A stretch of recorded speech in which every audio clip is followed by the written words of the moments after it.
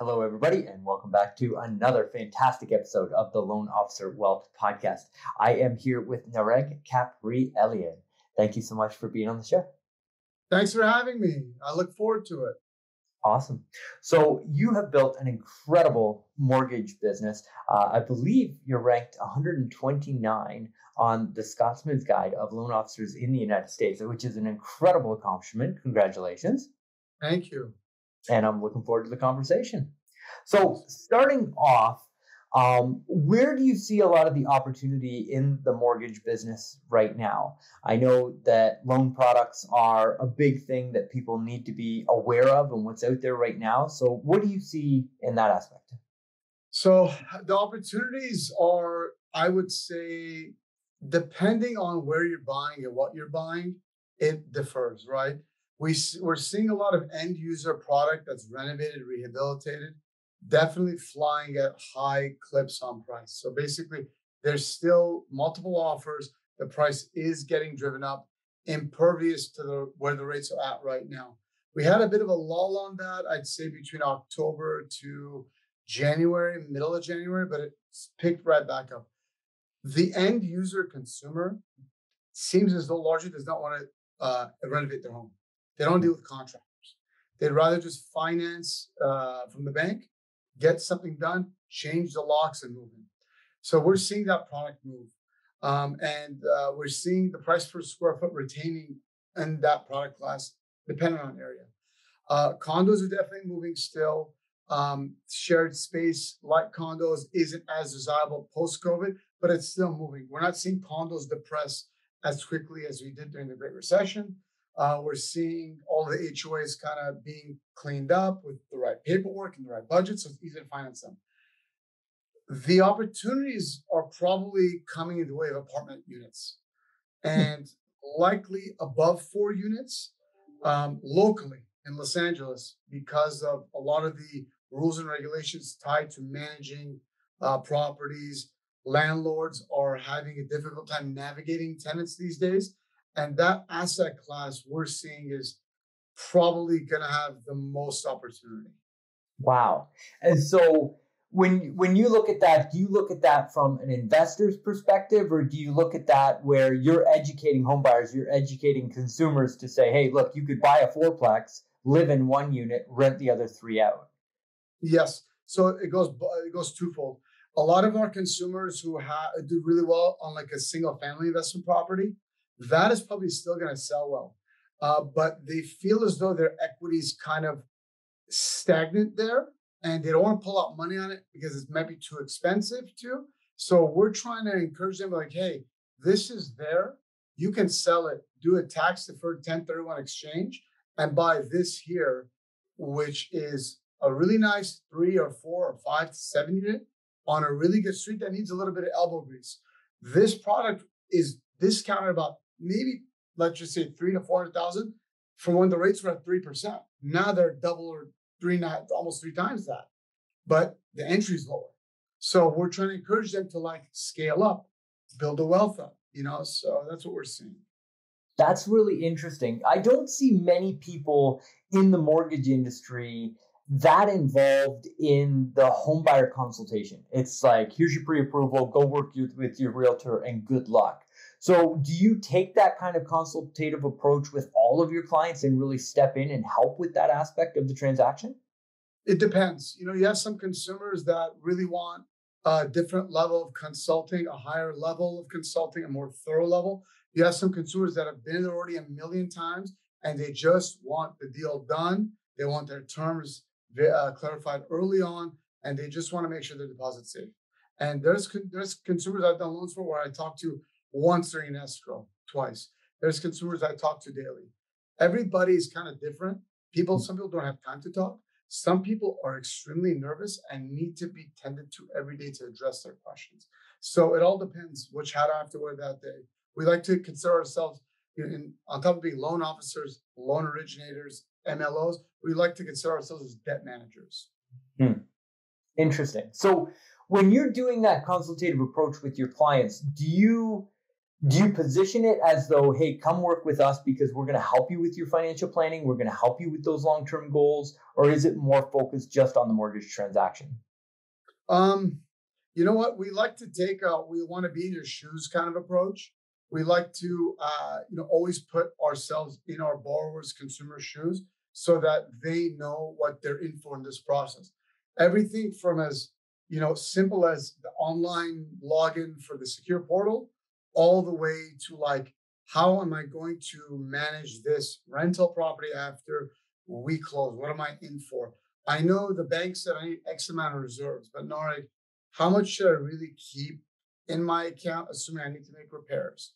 We also talk to consumers about you know if they're going to be um, uh, scaling up like you have a family of uh, four husband wife two kids and you know basically they need a house now and they're in a small condo.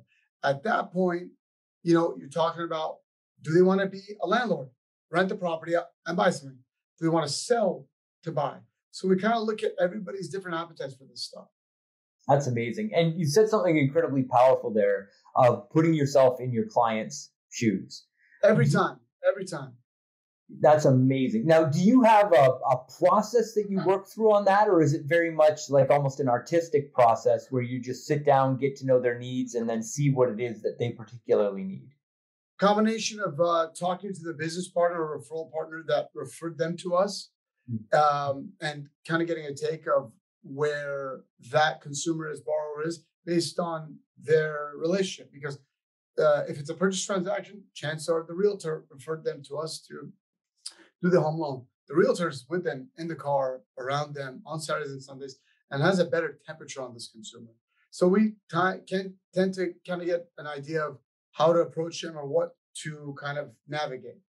If we don't have that, then you know you have to be kind of uh, adaptive on the phone, get a read on things. If they make some comments about certain topics or um, you know they forward you an article or a listing or what do you think about it, you get an idea of how to approach them, do your research, and be able to address them. Got it. That's and so powerful for. I mean, again, in the mortgage business, so many people just give the pre-approval, and it's like, hey, call me when you found the right house. And I think that knowing the consumer and actively reaching out and having those deeper conversations with them, you close more deals, and it's more valuable for the customer. Yeah, and then I was going to say, you know, when you have a consumer that's pre-approved, and they're making an offer on the property, you're basically also being an advocate for them. So what we like to do is get an idea who the listing agent is. Has it been somebody I've worked with in the past? Reach out. Has it been somebody that I have not worked with in the past that would honor a call before they review offers with the seller? Say, hey, listen, I'm the loan officer on the file. If you want to vet the file right now, I know everything about it. If you want to call me on speaker with your seller and quiz me, you can do that too these buyers want this house. We're ready to rock and roll. That is amazing and phenomenal service. Now, I'm interested because it sounds like a lot of your business comes through referrals. That process, when you get a realtor on the other side of the transaction and they get that phone call and they haven't done business with you previous, how many of those realtors do you think come back to you and end up having a business relationship with you and your company as a result of that outbound? You know what? I'll be honest with you, a lot less now than before. The reason being is this um, I was uh, keen on harboring relationships with the listing agent, making sure that I am their advocate just as much as uh, the buyer's advocate, because I'm responsible for the listing agent. They got to uh, communicate proper data, proper timelines to their seller. I'm responsible to my buyer because I need to let them know what is going on on the loan process. So I am everybody's advocate because if if I am, a peaceful escrow transaction is happening, and a peaceful escrow transaction means um, we all uh, the, the consumer gets their property, all the people who are working on a deal get paid sooner, and then a good experience means more business because we gave these people a good experience for everybody. So that's a good thing. With that said, the reason why it's less now than before is because when rates were so low, we were basically triaging some days and making sure we get all the files done and make sure everybody has the ability to refinance and is quoted out. And we didn't have the time to basically do that at that point.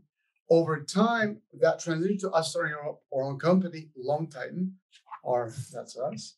Uh-huh. And um, a lot of it's now setting up the company in addition to servicing our buyers and their agents, our referral partners, our direct to uh, consumer sources. Now that you said that, it's in my head. I'm going to call every listing agent I have a deal with today and just update them. You got me motivated. So, yeah, I'm going to do more of it.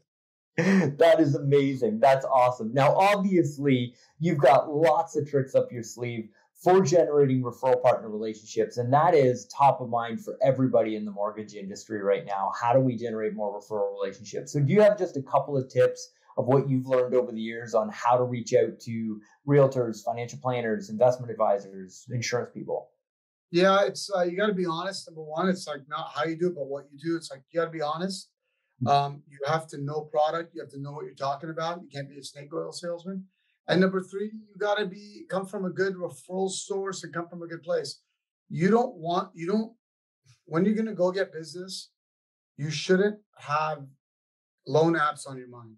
You should have the on your mind what it takes to harbor a relationship with this person because there's no good business relationship without somewhat of a friend, friendship relationship. You know, so that's what I recommend all our guys to do. That's what I've been doing. So I like doing it. I don't I don't want to work with people that don't like me. I don't want to work with people that I don't get along with. So, you know. Makes sense. Now you mentioned product there. And I think as the market evolves, private money is going to become more, I guess, important to have in your back pocket. So, are you seeing more need for private loans, and, and what does that look like in your business? Mm-hmm. So, uh, just to uh, kind of explain on a baseline, the FHFA has basically laid the hammer down and said, we no longer want to be the only show in town guaranteeing mortgages nationwide. So, they made it um, more, not as equitable for higher down and higher FICO owners to get loans and guaranteed by the FHFA agencies, Fannie and Freddie, but they're also um, lowering the cost on lower down and uh, lower FICO consumers. So giving opportunity to those people that aren't in as good of a position. So that's a, that's FHFA saying to uh, uh, uh, Wall Street, you guys have to hold the bag, and you guys got to be responsible because we've been through this about 13, 14 years now. Pretty sure everybody got gets it now, right? Okay, so you guys got to be the one writing the loans. Now it's the non-QM market, which is non-qualified mortgage.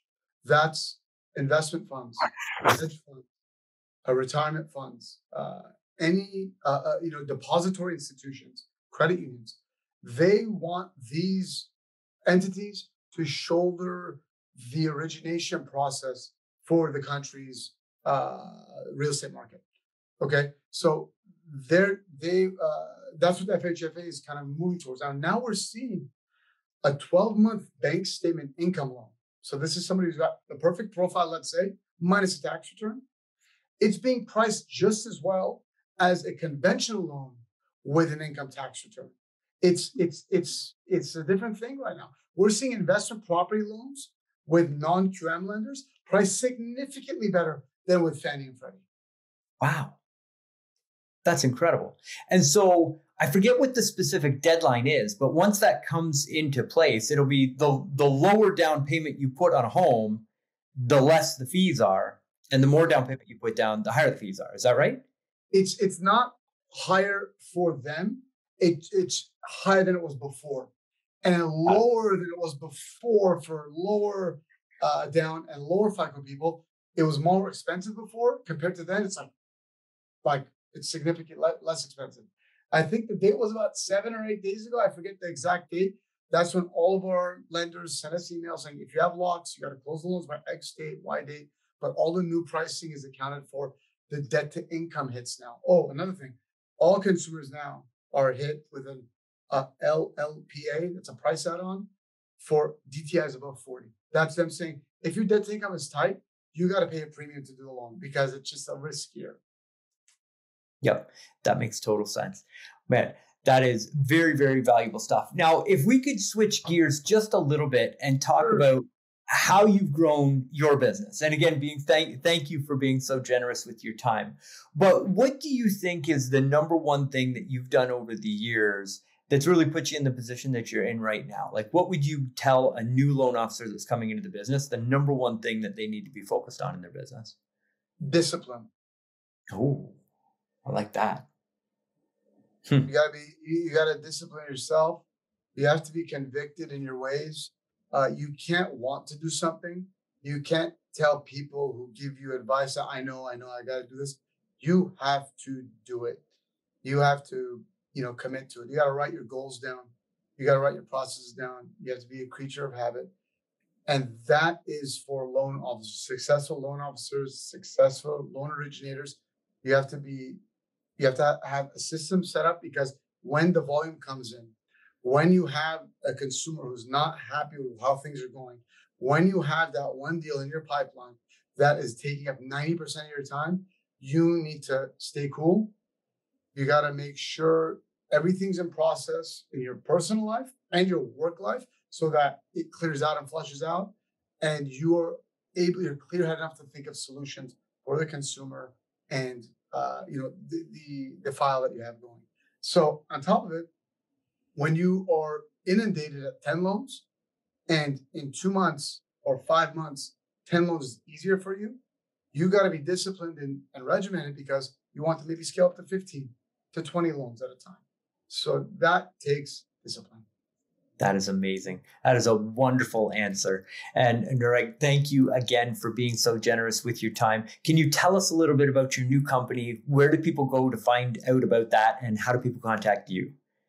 Uh, our new company is called Loan Titan. It's www.ltitan.com.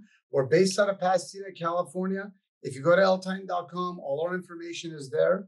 You can contact us. We have every loan product under the sun, and we can quote out any type of scenario. We'll let you know if we can do a loan. We do have private money loans if you need to get funded very quickly against a property. If you have any questions, you know where to reach us. And thank you for your time, sir. That's amazing. Thank you for being on the show.